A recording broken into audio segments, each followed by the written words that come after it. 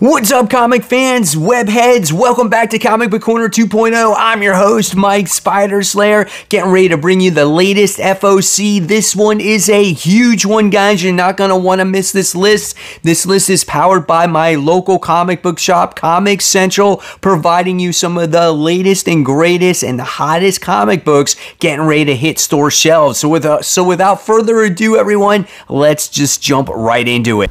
All right, guys, so we're going to kick this bad boy off with Batman Spawn. Now, these books are $6.99 and $7.99. I know the acetate covers are $7.99. And remember, these books come out on November 15th, so let your shop know you'll want these because these are going to be hot. Me personally, I am going to be buying every single one of these. They're just too good to pass up. Yeah, there's just some that are better than others, but they're all awesome in their own way. Check out these ones with the bats on it. Really, really cool. It's the first time where I'm seeing all of the Batman Spawn covers. This one's one of my favorites right here. This one's probably my least favorite. That's cool. They're all good. All right, so now let's go on to Strictly DC. We have Stargirl, The Lost Children, issue one, Geoff Johns' book. This is a mini series, one of six. And we get to see the couple variants or one variant cover that that one has. Then we have Dark Crisis World Without a Justice League Batman one shot. Oh my gosh, this is still going on, and I am not going to be picking this up. I've decided to go against all these uh, one shots or tie ins to Dark Crisis. And then you have the variant cover for this. Then we have Harley Quinn, the animated series Legion of Bats issue 2. So if you're in the Harley Quinn animated series, we definitely have a couple of books there for you. Then we have this cool Wonder Woman issue 204 facsimile edition. That is quite interesting. This is the introduction of Nubia. Then we have Nightwing issue 98, as this is the introduction to Nite-Mite. I don't know what he's going to have to offer in the pages of Nightwing, but we'll see. And then here is your variant cover. That's a little weird if you ask me. Then we move on to Catwoman issue 49. Uh, they're going to be versing each other. Catwoman versus Punchline. That, that could be something. I don't know. But this is a really nice cover. I really, really like that cover. Probably looks great in person. Then we have DC vs. Vampires All Out War issue 5. I am not into the All Out War. I just read the main series. Great looking covers though. Both of these covers. Absolutely gorgeous. Then it's 90s once again for the second week in a row as we have these 90 covers. We have Black Adam issue 6. You have Catwoman issue 49. I'll be getting that one. That's a really nice one. Nightwing issue 98. You have Flash issue 788. Now we move on to Marvel. We have Avengers Assemble Alpha issue 1. So this is all the Avengers coming together for Jason Aaron's final hurrah on his run. And then you get to see some of the variant covers for it here. Next, we have Thanos Death Notes. This is issue one, spinning out of the pages of Donny Cates and Nic Klein's Thor. This is a one shot. So, if you're into that story and you want to see a little bit more, go ahead and check it out. That's a pretty cool cover right there. It's like a movie poster. Next, we have Doctor Strange Fall Sunrise issue one. So, this is a little bit weird in cover. I'm on the fence about this one. I don't know what to expect here, so I might check it out. It's got quite a few variant covers, right? Too many for me. Then we have a big Hulk event. We have a Planet Hulk World Breaker issue one. It's not easy being gold. No, that's not that's not right.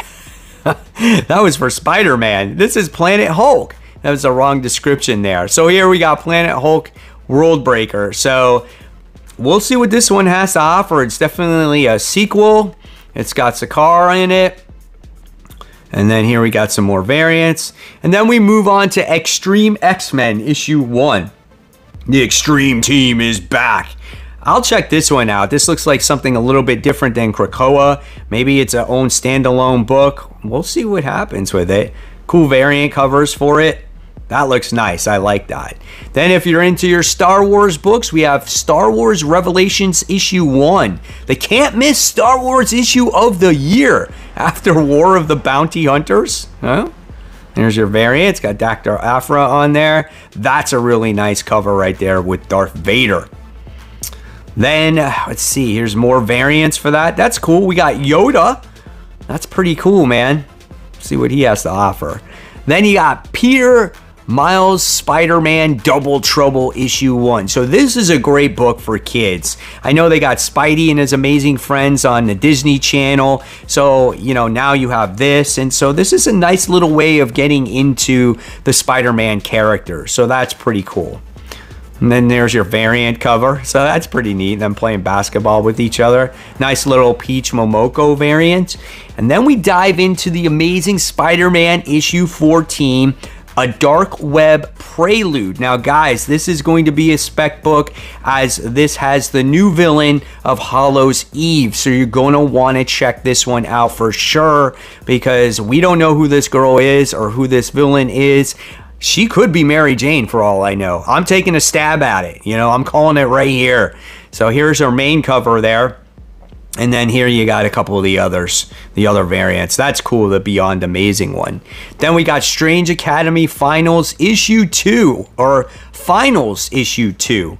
Looking forward to this series, man. I cannot wait. The first one's coming out very soon. I think it's this coming week. Uh, I'm excited. Love the original volume. This is a must for me. Great cover right here, as this is the Marvel superhero card variants. So awesome. And then you got another variant right here. Then we move on to Strange Issue 8, as we're still dealing with the Blasphemy Cartel. Couple cool covers for Strange. I'm still reading this series, not as strong as it once was. But a good series is Midnight Suns issue 3. What a great looking cover. Great looking team overall, too. Can't wait for this one. Here's your variant cover.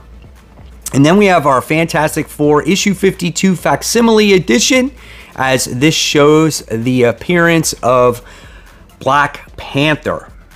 Now we move on to indie. Only a couple here this time around. We have I Hate Fairyland issue 1.